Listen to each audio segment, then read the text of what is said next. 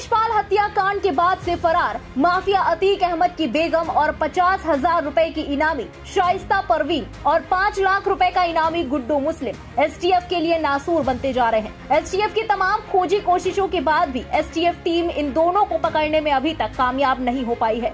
शाइस्ता के सरेंडर की आशंकाओं के बीच ये भी चर्चा हो रही है कि अतीक की बीवी शाइस्ता, उसकी बहन आयशा नूरी और गुड्डू बम्बाज साथ साथ है। हालाँकि धीमी धीमी सुलग रही इस आशंका पर बहुत से लोगों का कहना है कि ऐसा नहीं हो सकता है। वहीं पुलिस अधिकारी भी इस पर खुलकर नहीं बोल रहे हैं। एसटीएफ की टीमें दोनों फरार आरोपियों को पकड़ने के लिए दोनों की लोकेशन पता करने में जुटी हुई है। पुलिस विभाग का खुफिया तंत्र भी इस काम में लगा हुआ है, लेकिन बावजूद इसके, ये दोनों पुलिस के हत्थे अभी तक नहीं चढ़े हैं। असद एनकाउंटर और अतीक हत्याकांड के बाद पुलिस को शाइस्ता के सामने आने की उम्मीद थी, लेकिन शाइस्ता न असद के जनाजे में दिखी, न ही अपने शौहर और देवर अशरफ के जनाजे में।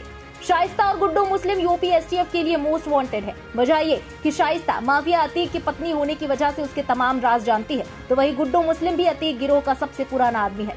जहाँ शाइस्ता अतीक से मिलने साबरमती जेल जाती रही है और अतीक की देश भर में फैली बेनामी संपत्तियों के बारे में उसे पता है तो वही गुड्डू राजू पाल हत्याकांड से लेकर उमेश पाल हत्याकांड तक अतीक के तमाम काले कारनामों का राजदार है।